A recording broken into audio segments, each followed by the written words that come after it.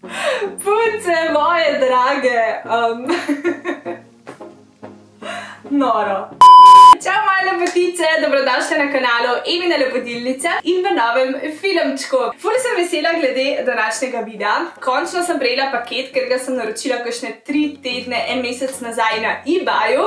In kaj je bila vsebina? Evo, testirali bomo danes skupaj prvič, trenutno najbolj popularno, ampak hkrati tudi najbolj čudaško masko na svetu. Zakaj najbolj popularna in zakaj najbolj čudaška? Zato, ker je v bistvu sestavljena tako, da ko jo ti daš na obraz, se skozi minute, ko jo pač postiš na obrazu, napihne ko en oblak in dejansko si potem na koncu en oblak. V bistvu je tudi en risen junak, ki zgleda zelo podobno kot ta maska. Uh, tako da mene noro zanima, a bo delovala, kako se bo obnesla in seveda, če je vredna denarja. A ne, ker ta maska je v osnovi namenjena, da odpravlja in čisti pore.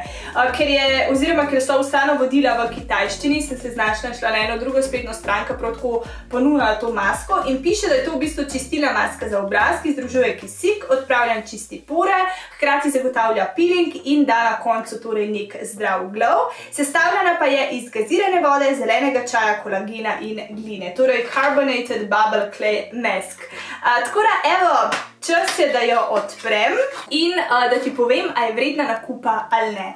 Uh, zdaj pa, ker je tale maska še čist uh, zaprta, bom najprej umakala to folijo. Ta-ta-ra-ra! Aha, evo, ja, sem zraven dobila tudi takole žličko. To sem si že gledala različne tutoriale, v bistvu si z njo naneseš potem to glino na obraz. Zdaj pa še en trenutek resnice. Evo, tako ne zgleda. V bistvu na prvi pogled je to kot nek um, slim, zelo tekoča. Taka mal, um, ja, kot ti slim, ne, ki je bilo zelo popularno, ko se rado gnete. Čak ti pokažem od blizu.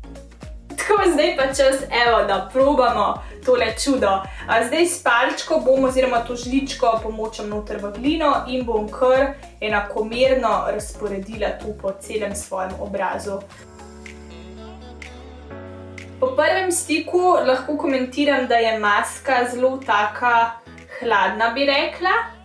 In se tudi zelo lepo v bistvu razmaže po obrazu. Evo, zelo lepo razmaže gladko drsi, tako da v bistvu je zelo zelo prijetno nanašanje. Vonj je v bistvu tudi zelo tak, skoraj ga ni, ampak če bi že ti mogla nekako pisati zelo zelo krahlo po enem jabučnem čigumiju, tako da je tudi to zelo všečno zaenkrat. In evo, to je to, maska sem nanesla, zdaj pa bom počakala par minut in te sprot obveščala, kaj se dogaja. Opažam pa, da me tukaj pri nosu ful srbi. Jap, maska definitivno se dviguje, zdaj je še malo širša, kot pri zadnjem javljanju. V bistvu zelo hitro vse skupaj poteka, odkar sem ti na zadnje poročala, da se penje, zdaj le minili spet kakšna minuta. Tudi slišem, kako maska v bistvu dela take zvoke, recimo, če bi šle noter v kado, bi si namile kado in tisti mehurčki, ki tako malo pokajo, isto se tukaj sliši. Tole ratuje vse večje in večje. Opažam, da ta maska kapla oziroma, ne vem, leti na vse strani, ker sem si umazala celo oblekco, tako da gre samo še na pranje.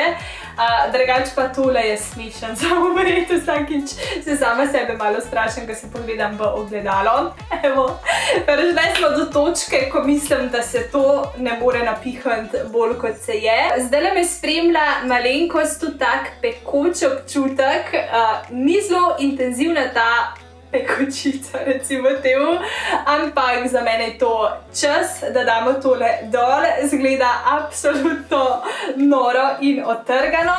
Uh, tako da bi tole masko sigurno dala lažje dol v kopalnici, ampak želim, da pač gledate celoten ta proces, ko da si bom pomagala kar z WC papirjem. In počasi tole, evo, umakala dol. Me pa ful zanima, kaj je ta maska naredila koži, a bo dejansko lepša, a bojo pore kaj bolj očiščene in če bo bolj taka zdrava, kot ta maska tudi obljubila, tako da poročam, ko tole obrišem.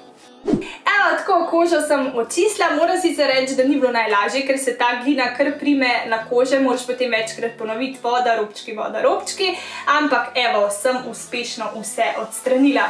Zdaj pa še, če potegnem eno tako črto čez celotno testiranje tele maske, kakšno je torej moje mnenje, je maska v bistvu zelo, zelo fajn. Obljublja nek tak zdrav lesk, zdrav glow in moram reči, da če primeram prej in potem, uh, sem definitivno dobila nek tak sjaj. Poleg tega je koža tudi veliko bolj gladka, kot je bila. Sicer zdaj nujno bi rabila neko kremo, ker čutim, da jo zateguje, ampak je dobila neko to zdravo barvo. Potem naslednja stvar obljublja očiščenje por in moram reči, da so tukaj pri nosku pore dejansko manj vidne. Uh, tudi očiščene, tako da me je tale maska zelo pozitivno presenetila. Nisem pričakvala tega, ampak jo bom definitivno še uporabila, ker res ni slaba in je vredna teh 5 evrov, tudi kaj več. No? Uh, tako da zanimivo. Pravi tudi ocenim te izdelke na lestvici od 1 do 10, vse te, ki na novo testiram. In tej le dan brez slabe vesti 9, kot 10, če ne, ker kot rečeno kožo zategujem, pa glede na to, da je očiščevalna maska, drugače skoraj ne more biti. Tako da zelo zanimivo odkritje. In evo, to je to, prišli smo do konca tega videa. Ne se pozabite naročiti na moj kanal za še več bizarnih videov in mi slediti na Facebooku in Instagramu Evina Lepotinica je moje družbeno ime. Tako da, lepo se mej in se gledava v naslednjem videu. Čau!